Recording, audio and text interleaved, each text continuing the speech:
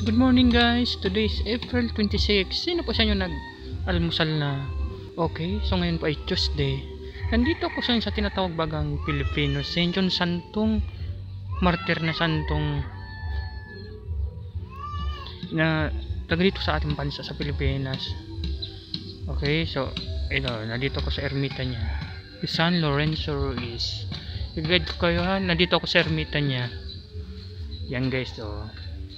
Simple lang ang ermita ni San Lorenzo Ruiz. Dito siya pinagpala at ulipart pa ng balugo pasakaw Camarnesor.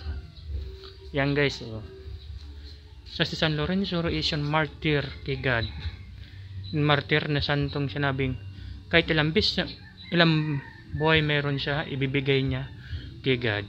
Kaya yung binitay na siya talagang great siya. Nung makapilang ang mahal na Diyos.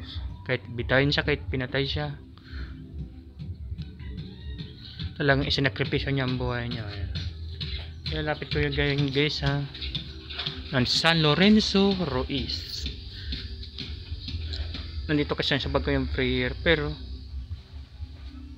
hmm. kasi dito sa bansa natin dalawa ang great na Pilipinong martir. Pero una si San Lorenzo Ruiz at pangalawa si San Pedro Calungsod. Yan guys, so. Yakin kayo sa labas.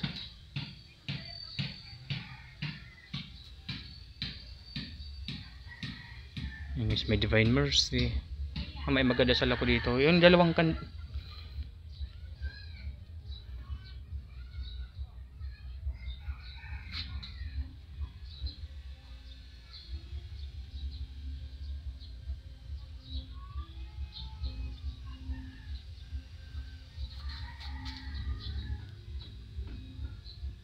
Yan guys, kaya huwag niyo kakalimutan San Lorenzo Ration Martir na Santong Pilipino.